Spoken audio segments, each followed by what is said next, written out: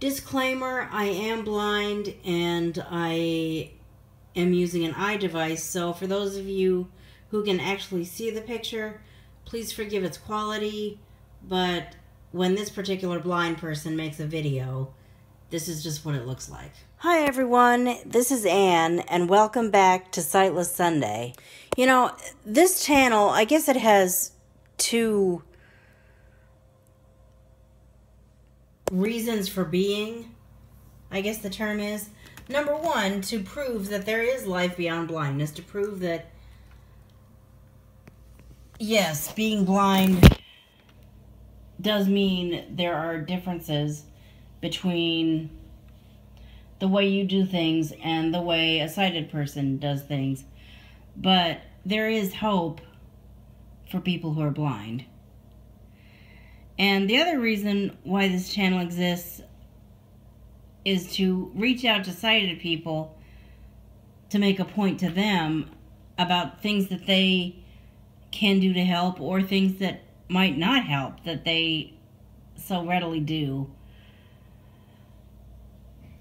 First, I want to acknowledge and thank a woman who watched my video last week and realized how much she does rely on pictures and hopefully got some some idea of what she and people like her can do to their videos to make them appreciated by the blind. I'm not saying her videos aren't appreciated appreciable or appreciated by the blind. But I thank you, Andrea, for commenting and reaching out. And I'm glad you got something out of last week's video. And I hope that people can get something out of this week's video too, because Okay, are there any advertisers watching this video? If so, please pay attention to what I'm about to say because this one's for you.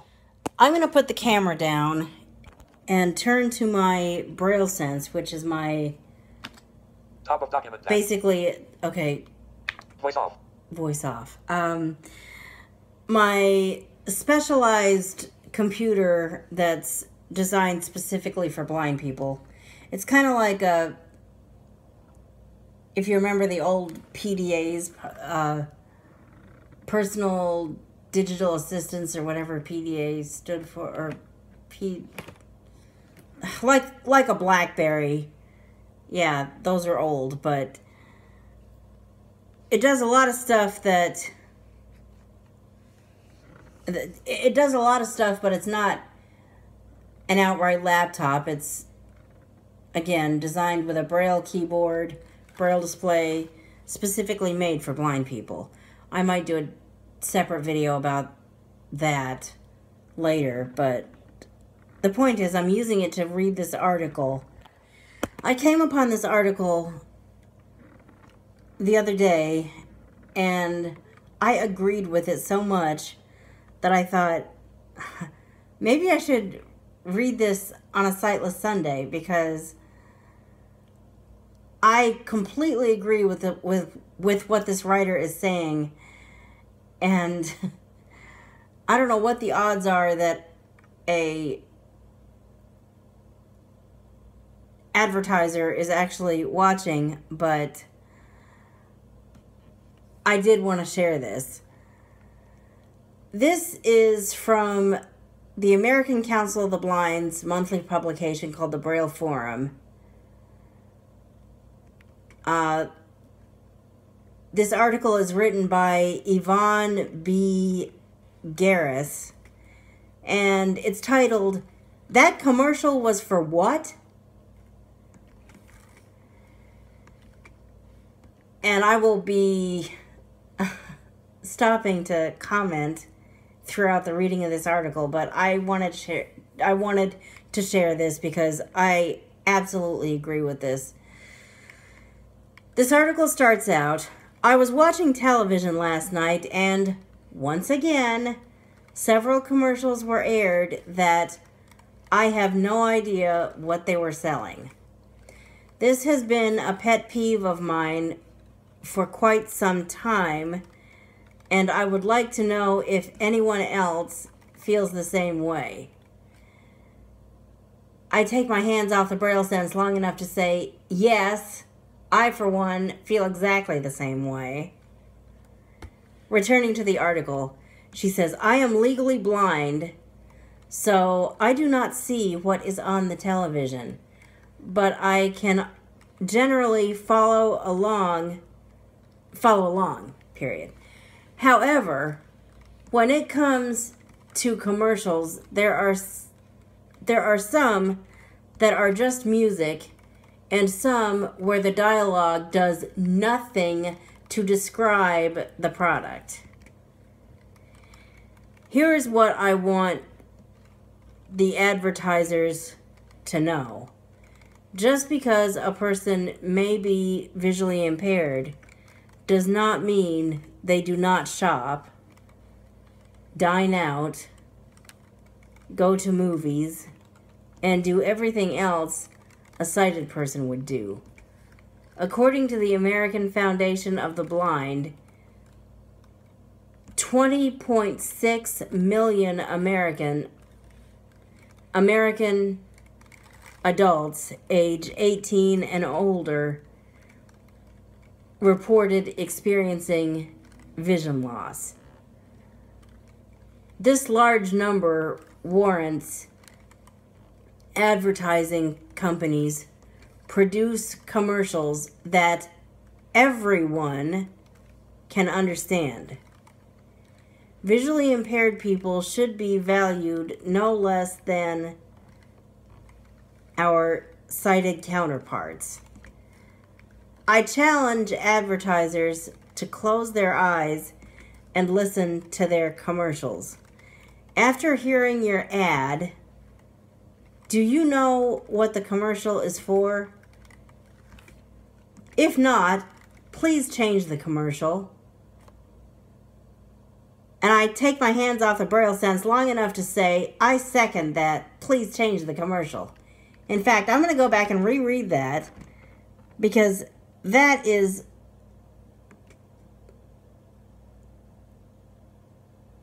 one of the best examples of the point of this article in this video. On behalf of this writer and myself as a blind person, and for that matter, everyone who feels the same way we do, I'm going to repeat this paragraph.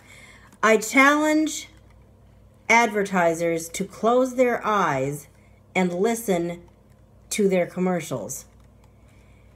After hearing your ad, do you know what the commercial is for? If not, please change the commercial. She goes on to say, one commercial that drove me crazy repeatedly mentioned the brand name, but not the product. The brand name, let's call it Aura, not the real name, gave me no hint as to what was for sale. I had to wait until a sighted person told me what they were promoting. Imagine my surprise in learning it was a food product. I ask you, what does aura have to do with food? This commercial had an adverse effect on me. Instead of wanting to buy the product, I actually do not want to buy it because it made no effort to convince me and it left me frustrated repeatedly. There are several examples of good commercials. Restaurants generally have good commercials with descriptions of their food that make my mouth water. Now, if you were in advertising, this should be music to your ears. when I want to go out to eat, what will I think about? Yes, those mouth-watering commercials. Auto companies also make good commercials.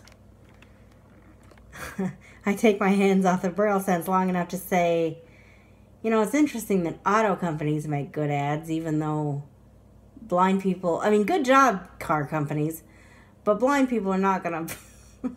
That's, I think that's probably one of the few exceptions to the rule that blind people and sighted people can do a lot of the same things.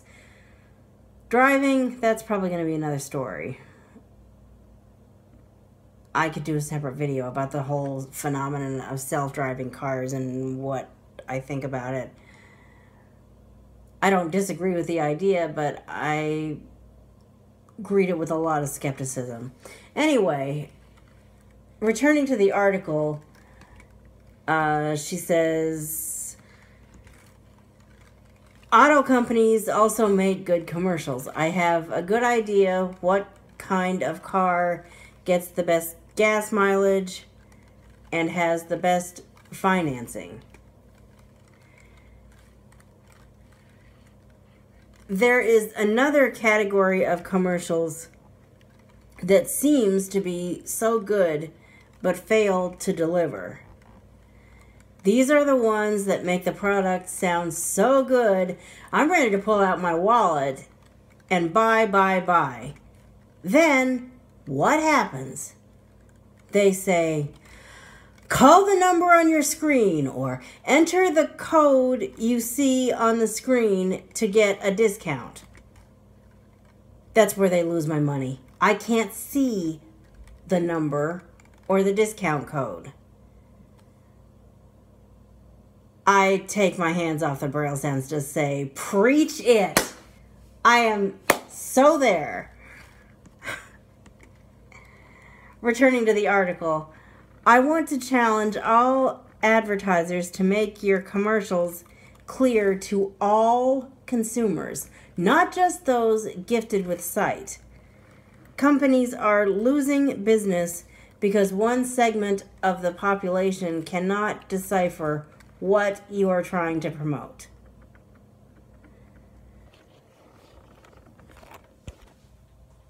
And that ends the article. And yeah. That was the writings of one blind person and I am another blind person who completely agrees, especially when a lot of people might think that blind people can't live alone, but I'm proof that we can.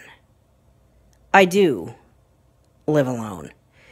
In other words, I don't have a built in sighted person to, to say, oh, yeah, here's what the number is, or here's what the discount code is, or eh, yeah, that silly scene where there was no dialogue or there was dialogue but it had nothing to do with anything. I don't know how they expected you to realize that this is what this is what they're selling. I don't have working eyes connected to a person that I live with to tell me that stuff. And my eyes don't work either, obviously that's what blind means. So, yeah. Number one, I'm completely out of the loop. Number two, even people who do have sighted people living with them shouldn't have to go to the sighted person just to find out what the advertisement was for. Now, I do take a moment and commend those people who bother to have a commercial that talks about their product and then they may say you know so what are you waiting for? Call? And then they actually have a person saying to order call and then they actually read the number. Good for you to those of you advertisers who actually make it a point to do that good for you and keep up the good work for those of you who don't, please start. It's you don't have to have a master's degree in business to know that it's pretty bad business sense to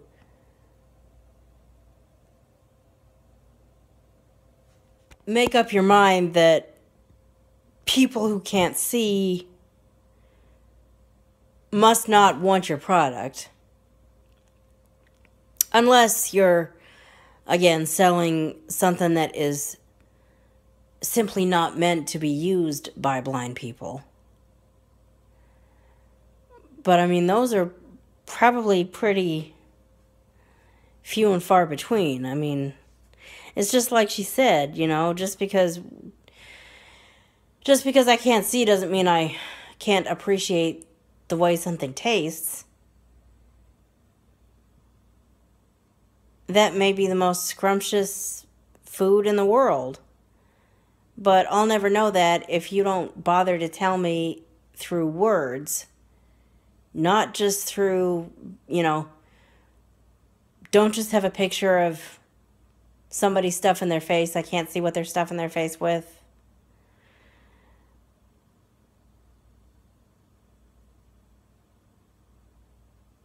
You know,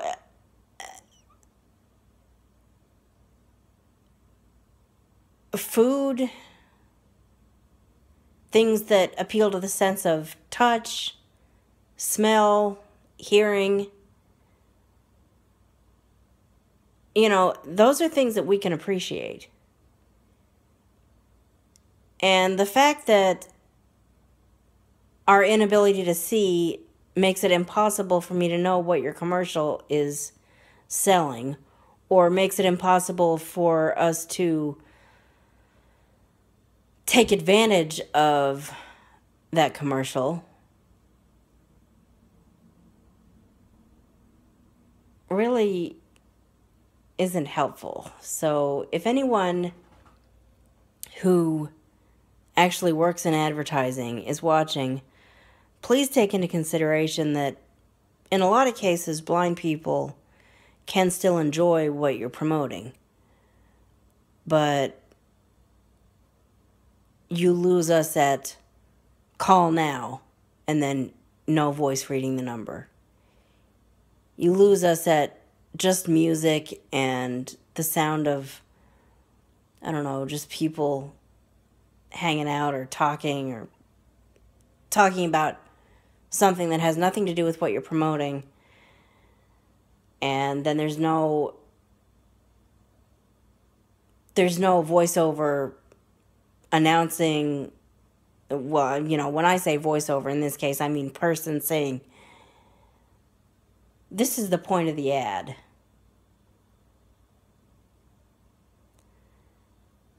I might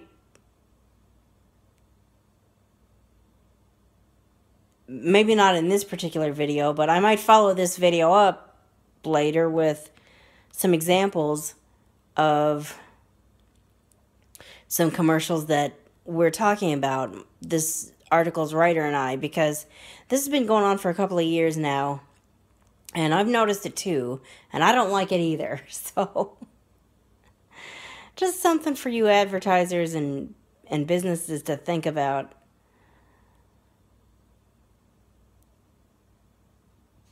Don't forget that business might be good and even better when people who can't see buy your stuff. But the only way we'll be interested in even thinking about buying your stuff is if we have any clue what in the world the commercial's for. Okay, this video is getting long, and I think I've dri I've driven the points home of both the article's author and myself.